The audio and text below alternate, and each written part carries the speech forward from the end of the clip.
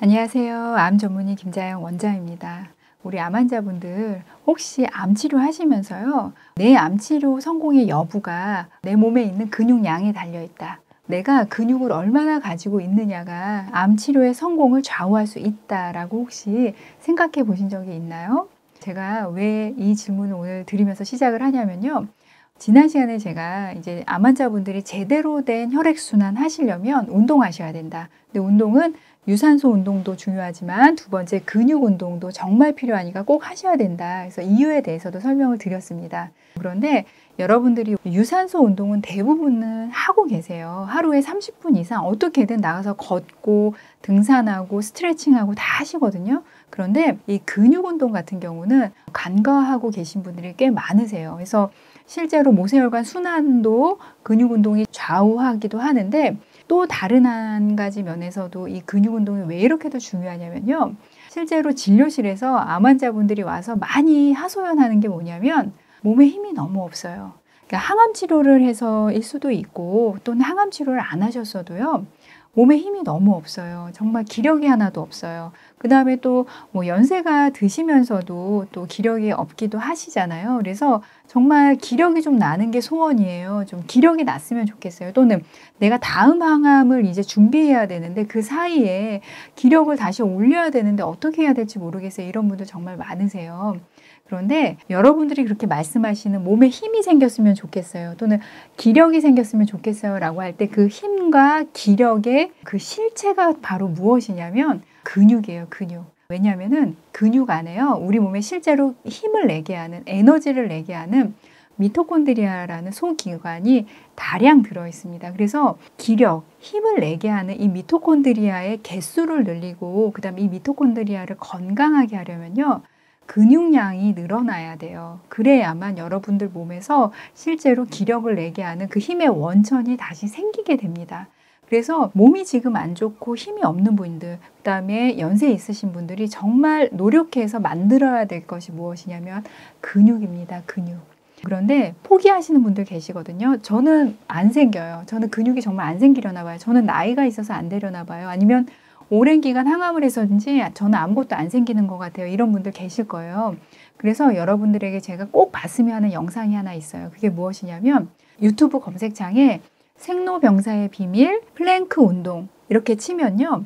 한 3분 내외로 여든 넘으신 어르신이요. 코어 근육 운동 통해서 근육을 다시 만든 내용이 나와요. 그런데 우리 암 환자분들이 이 영상을 왜 좀 꼭 보셨으면 하냐면 그분이 여든이 넘으신 나이에 여든 어, 넷부터 아마 다시 시작하신 것 같아요. 몸에 근육이 다 빠진 상태에서 힘이 하나도 없는 상태에서도 꾸준히 근육 운동, 플랭크 운동하고 스쿼트 운동만을 통해서도 그분이 근육을 다시 다 만들고 정말 펄펄 기력이 나는 지금 그 상태에 있으시거든요. 그래서 우리 암 환자분들 지금 근육 하나도 없으신 분들도 다 만드실 수 있어요. 그래서 아주 좋은 사례여서 제가 그 영상 한번 꼭 보시라고 일단 말씀드리고 시작하겠습니다.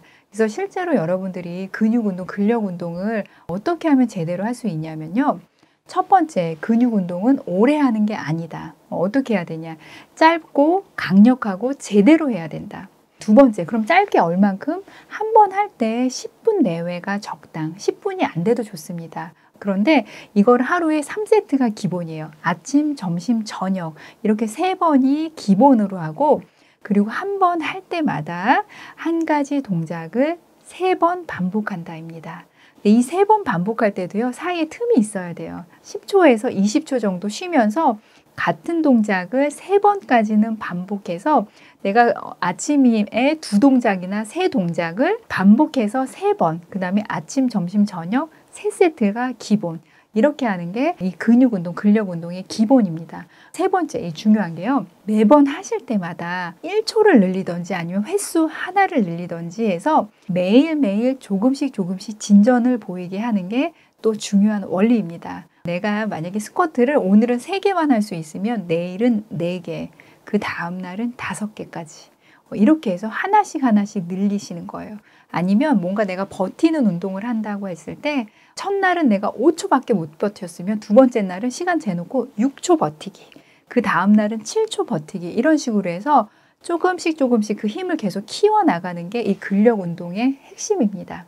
네 번째, 여러분들이 이 근력 운동 하실 때 꼭 집어 넣었으면 하는 운동 두 가지가 있습니다. 아까도 제가 말씀드렸는데 그 한 가지가 뭐냐면 플랭크 운동이라는 거고 두 번째가 뭐냐면 스쿼트 운동입니다. 이 두 가지는 기본으로 여러분들이 꼭 넣었으면 하는 운동이거든요.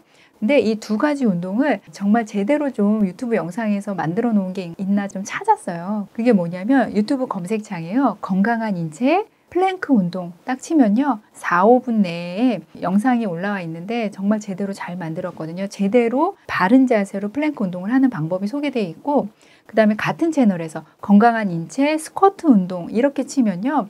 또 스쿼트 운동을 제대로 바르게 할 수 있는 기본 자세 운동이 그 영상에서 제대로 소개가 되어 있어요. 그래서 우리 암 환자분들이 그 영상 좀 참고하시고 플랭크 운동하고 스쿼트 운동 이 두 가지는 꼭 집어 넣어서 여러분들이 근육 운동 하시는데 기본 세트로 넣으셨으면 좋겠습니다.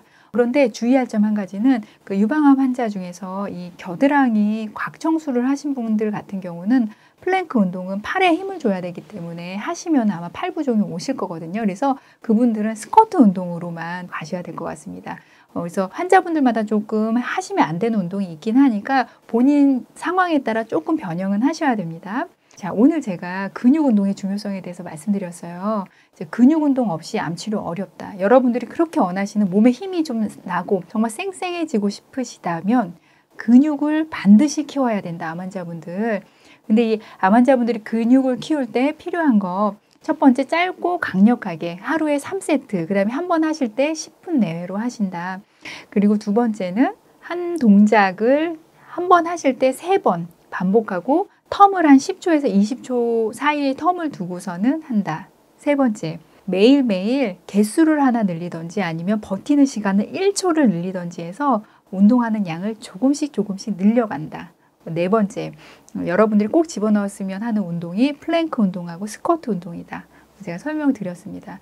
우리 암 환자분들 지금 근육 하나도 없으신 분들도 분명히 만들 수 있어요. 하루에 1초 또는 하루에 한개 운동하는 개수 늘려서요.